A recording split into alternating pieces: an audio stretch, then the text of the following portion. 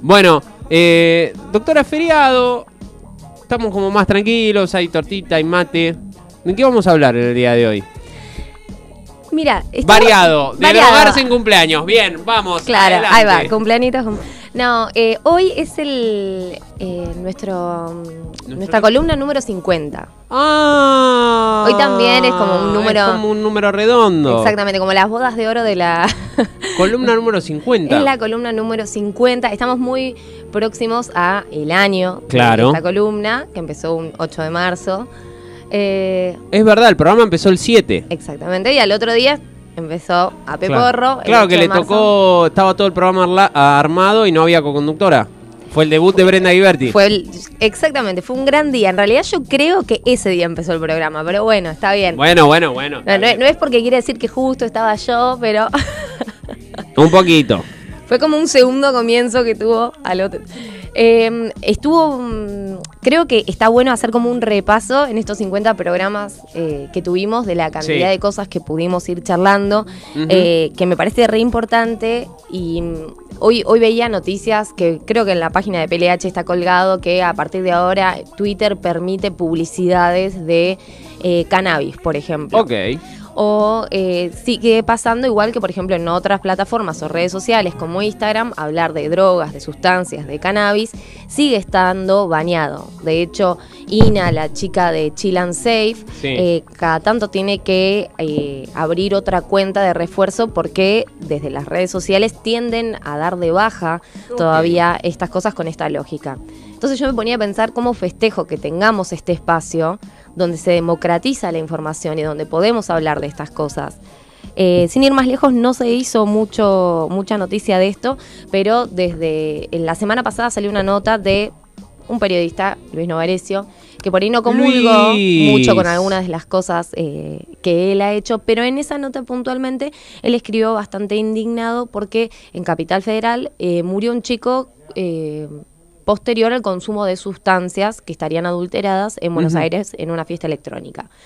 Cosa de que no se charló mucho, que No. empezamos a naturalizar esto, Sí. que encima el- lo que él estaba muy indignado por un hilo que se había hecho en Twitter, que es un mundillo, ya sabemos, Twitter con Sí, algunas sí. cosas, pero que lo que pasó fue básicamente todas frases, bueno, ¿para qué toman? Ah, ¿Para sí, qué lo claro. hacen? Bueno, son entonces faloperos y todas esas frases que ya conocemos, que venimos trabajando desde hace un montonazo tratando de desarmar esa idea. Eh, y yo digo, ¿cómo puede ser que las redes sociales estén tan atrasadas que no podamos hablar de estas cosas, pero por ejemplo, después hay cuestiones de pornografía que circulan Sí, todos los claro. días, eh, hay cuestiones de violencia que circulan todos los días y eh, cómo todavía las redes sociales eh, siguen como unos pasos atrás, que en realidad van con la lógica que por ahí hoy tiene las políticas de Estado de la gran mayor parte de los países que siguen siendo prohibicionistas. Entonces, bueno, eh, la verdad que la nota que escribió Novarecio no, no decía nada nuevo, pero me parece importante ver cómo por ahí eh, actores de diferentes espacios políticos, sí, porque lo son, no, no, no son eh, No, neutrales, apolíticos, son políticos y hacer una nota sobre esto es un acto político, eh, cómo empiezan a posicionarse eh, frente a situaciones eh, que genera el prohibicionismo. Eh, a mí me llamaba la atención y algo decíamos el lunes acá con Moreto y con Cami. Eh, sin, sin ánimo de señalar con el dedo a nadie, ni mucho menos. Pero mm, intentando pensar de que la realidad ha superado al discurso negacionista. Negacionista en el, sentido, en el sentido de negar que la gente consume sustancias. No estamos queriendo decir con esto, he escuchado mucho a Gastón Pauch el último fin de semana, eh, no, con esto no estamos abriendo una ventana a invitar o incitar a la gente que consuma. Me parece interesante lo que, lo que decía Gastón Pauch, que en esta sociedad todo el mundo tiene algún tipo de consumo, algún tipo de adicción. Adicción al trabajo, adicción a las sustancias, adicción a la pornografía, adicción al consumo excesivo de una pantalla con el celular o con la computadora. Y que lo peor que podemos hacer es distraernos ante esa situación, no mirarla. Y acá veíamos en Bahía que es cada vez más importante la movida, parezco Marcelo Tinelli, pero es así, eh, la movida de la fiesta electrónica. Hay un montón en Bahía Blanca, hay un montón de eventos durante la semana Y me da la sensación, a mí, mirándolo desde lejos, que habría una posibilidad ahí desde el sistema público de salud de meterse a aconsejar. O sea, lo peor que podríamos hacer es mandar a alguien a que meta preso a los pibes que están consumiendo, porque convengamos también que gran parte del divertimento de la fiesta electrónica, más allá de que hay mucha gente que le guste y no consume, hay un consumo.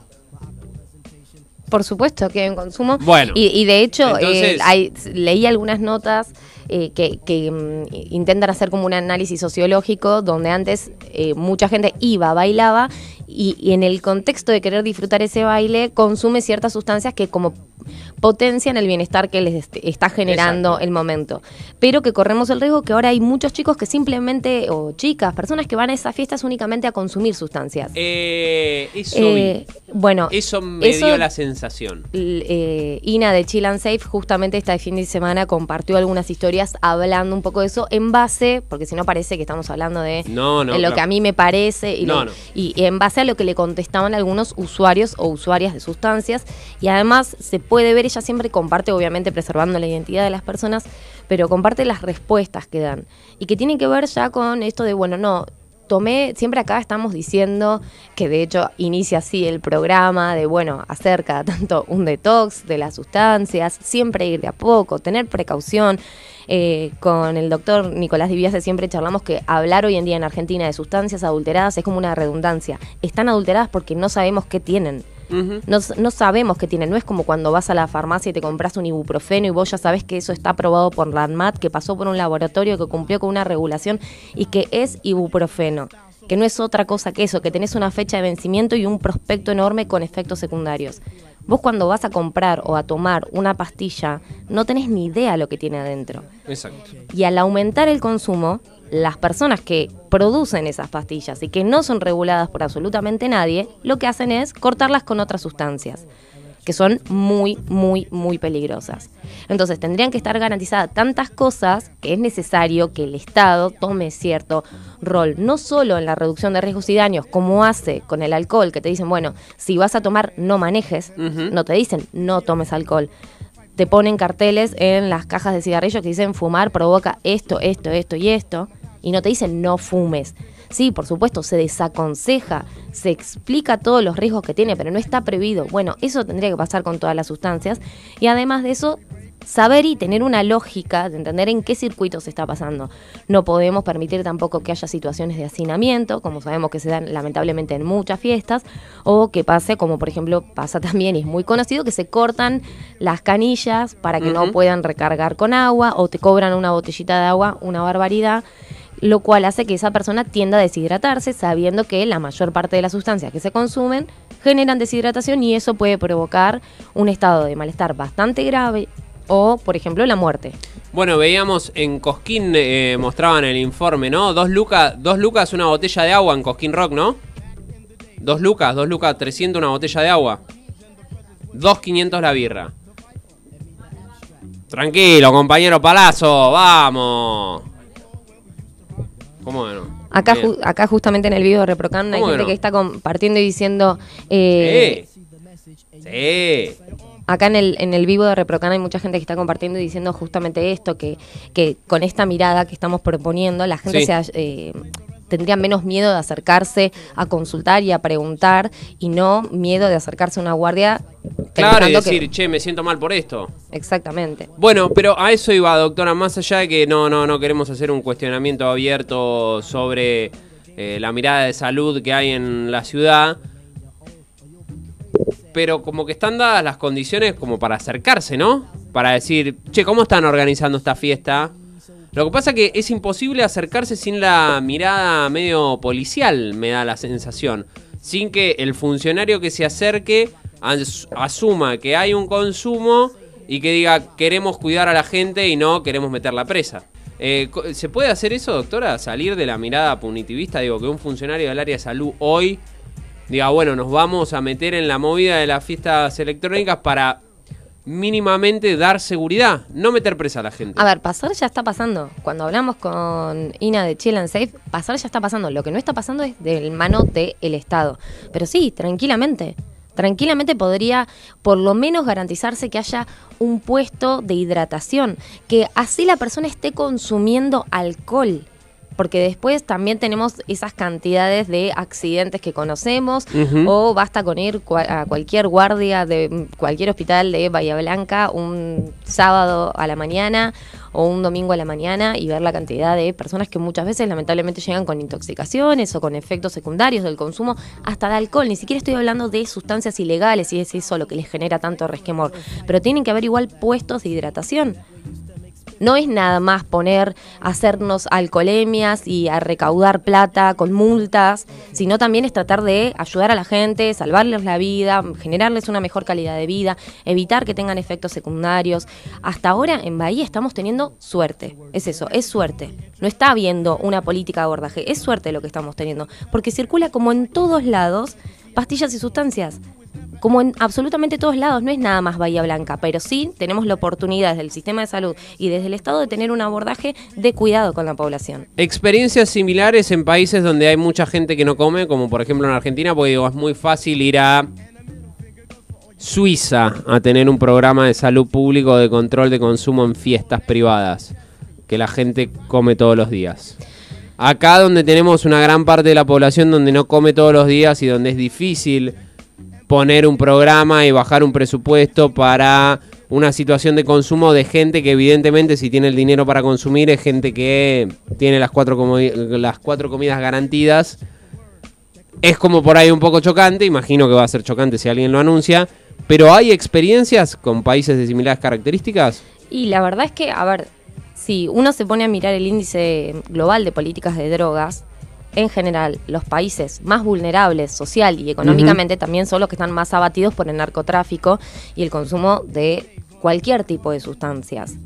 Entonces, eh, se da de la mano de que en general también pasa de que hay un aumento del consumo de sustancias en este eh, tipo de situaciones. Pero, sin ir más lejos, que ya lo hemos nombrado varias veces, Petro, que es el presidente de Colombia, lo que llamó es a regularizar, hasta, hasta generar eh, puestos de trabajo donde son las plantaciones de coca hoy en día, que son lugares que están mantenidos por mm, gente rural, que no está teniendo acceso ni, ni, a salud, ni a trabajo formal, ni a nada por el estilo. Entonces, eh, la regularización de ciertas sustancias no solamente cuida en base a que estarían dando más información y estamos menos expuestos a sustancias adulteradas, sino que hay además un circuito laboral en el medio. Yo sé que ya que suena eh, que como desfasado lo que estoy diciendo, como que alguien dice, no, pero ¿qué, está diciendo? ¿Que legalicen la cocaína? que Sí, un poco sí, un poco sí, chicos, porque el prohibicionismo lo único que hizo es que esa cocaína siga estando ahí,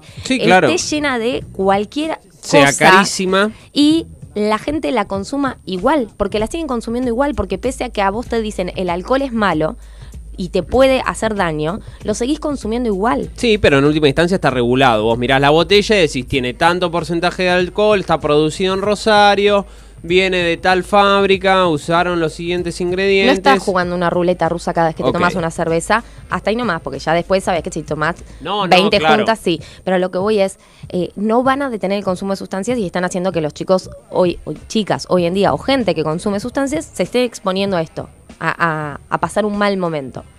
¿Y cómo hacemos, digo, desde la lógica comunicacional para que si el Estado interviene en este tipo de problemáticas, no quede el Estado como una sugerencia o una invitación a consumir, porque es parte también de esto que plantean algunas personas que han consumido y hoy están limpias.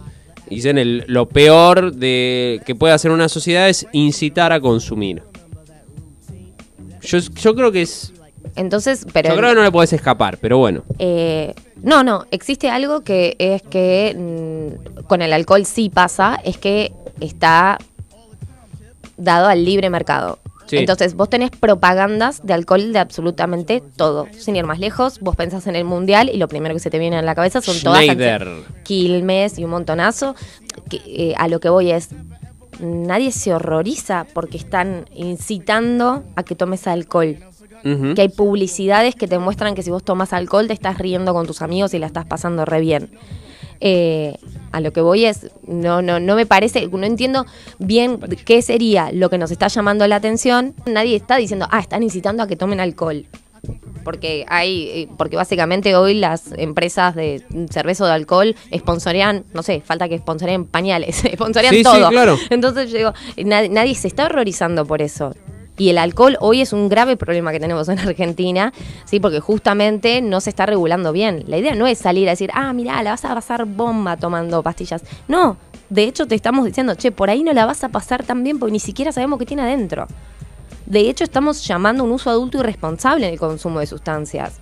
De nada te sirve querer consumir sustancias y después la vas a estar pasando mal tres, cuatro, cinco días, como son lo, lo que comentan los chicos que le escriben, por ejemplo, a Chill and Safe. El otro día me quedé leyendo varios mensajes y yo decía, para, o sea, que no, no termina teniendo ganancia, me quedó doliendo el cuerpo cuatro días, eh, se, me levanté y tenía los ojos inflamados, eh, estuve vomitando, no siento las manos, cosas...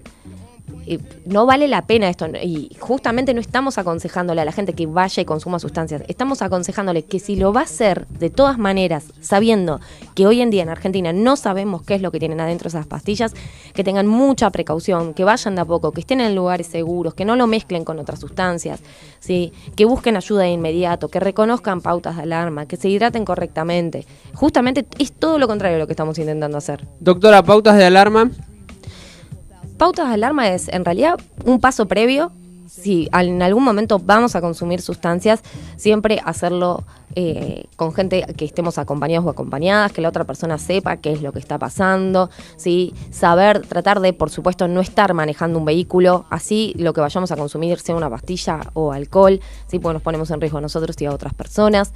Eh, no, tratar de no hacer una mezcla muy grande con otras sustancias. En muchas de las páginas de reducción de riesgos y daños está esta cuadrícula que nos dice qué sustancias por ahí son más nocivas o no tanto en el cruce que hacemos. Siempre saber que el alcohol a dosis muy altas es un depresor y que deshidrata. Entonces si yo lo mezclo con, eh, lo mezclo con pastillas que también deshidratan, puede ser eh, algo que también sea grave. Eh, y después, ante situaciones de vómitos, dolor de cabeza en exceso, descompostura, malestar general, transpiración, eh, le- que levantemos temperatura como fiebre y que pese a que nos estamos hidratando o comiendo una fruta o que nos alejamos, nos seguimos sintiendo mal, por supuesto, y enseguida activar el 107, que es la ambulancia que tenemos acá en Bahía Blanca. Gracias a todos, que tengan un excelente martes.